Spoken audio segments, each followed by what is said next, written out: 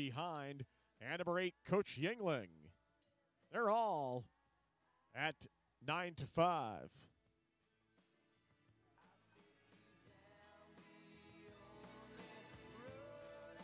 And they're off.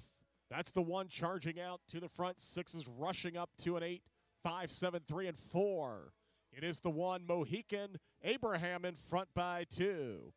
The two Jazzy Beavers and the six Panther Patton battle for second. Here comes WW's left behind as they head into the final turn. It's one seven six two, three and eight. The one's lead is now in peril as the seven's right there. The one turns it on again as the seven was blocked. The one's going to win at one seven, followed by the three and eight.